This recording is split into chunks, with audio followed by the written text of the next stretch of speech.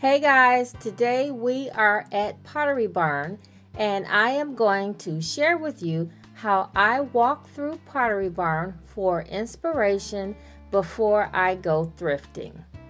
Now, I picked Pottery Barn because they have an upscale look and their style is classic and I think their style can fit into a lot of design aesthetics. So one thing that I really love about Pottery Barn is their table settings. They are always classic and elegant. So I like to study their tablescapes to see how I can achieve their look. And one thing that I noticed is that they use a lot of white or neutral dishes.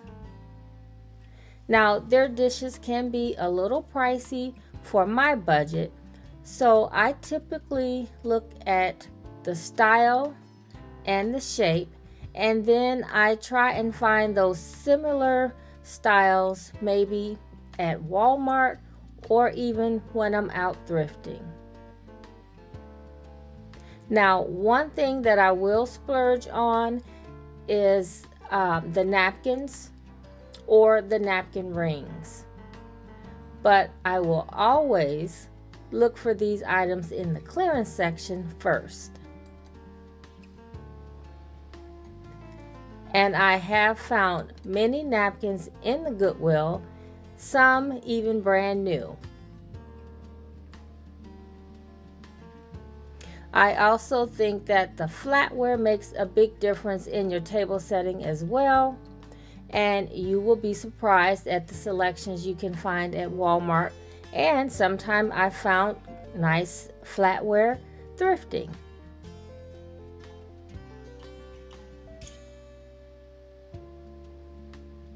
And I always love to take a look at the seasonal decor as well.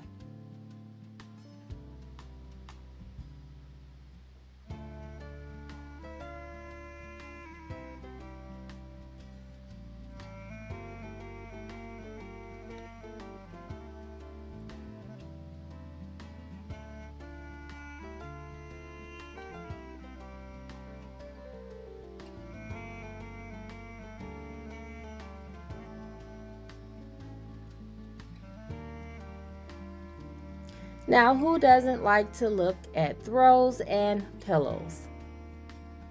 Now, every now and again, I will purchase a pillow or a throw from Pottery Barn, but for the most part, I like to scan the wall of pillows and throws to see the colors and the textures and the different patterns.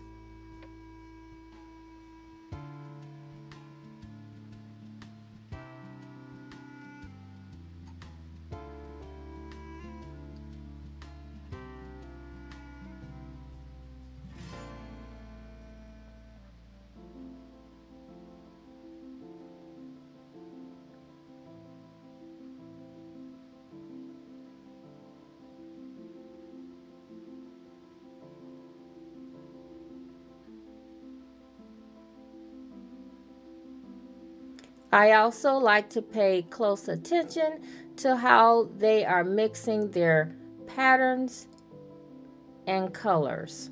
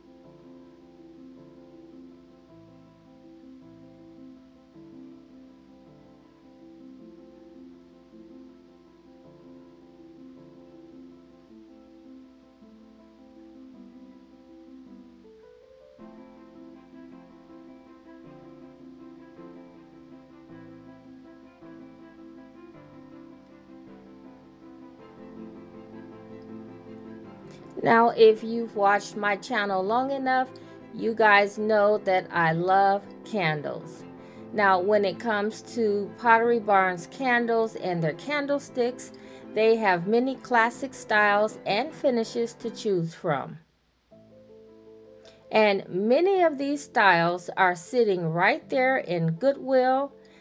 You just may have to tweak them a little bit, spray paint, or change the color somehow to fit into your decor.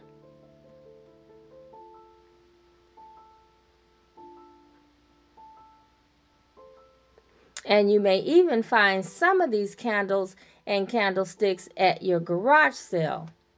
I know I have found many Pottery Barn candlesticks and um, candles while out garage sale shopping. But you guys must remember, I told you that when you're looking for high end merchandise while you're out thrifting, you must go into the neighborhoods where the homes are in the higher price bracket.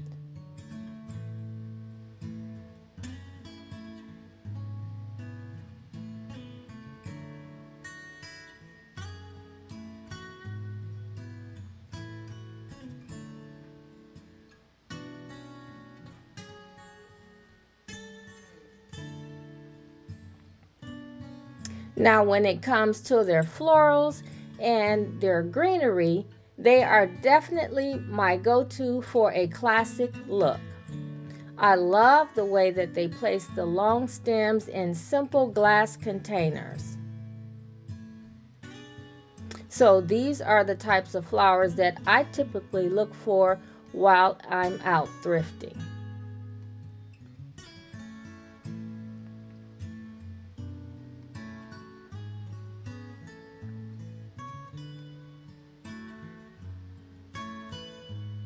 Now, I mentioned in another video that I am using more succulents this year, inside and out.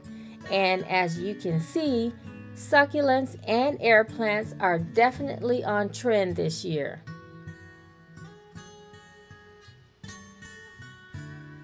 And another thing about Pottery Barn, their faux plants are on point because they look so much like real plants is for me it's hard to tell.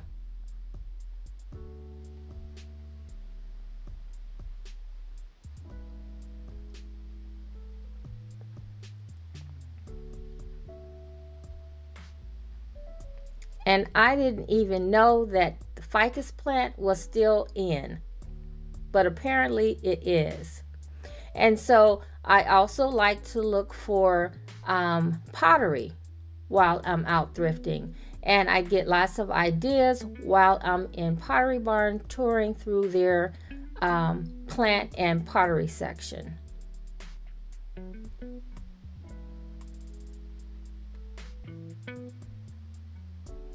And pottery is very big right now, and all different types of um, like urns and clay pots are very much trending. And so another thing that I like to look for are lamps. Now, the lamps, I, I like to look at the different shapes and the different sizes that they have.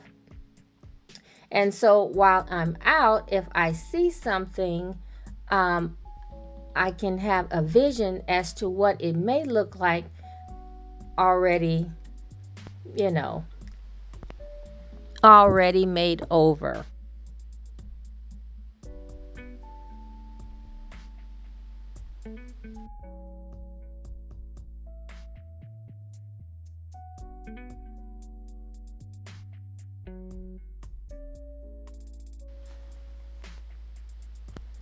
So these are just a few of my tips on how I prepare myself before I head out thrifting.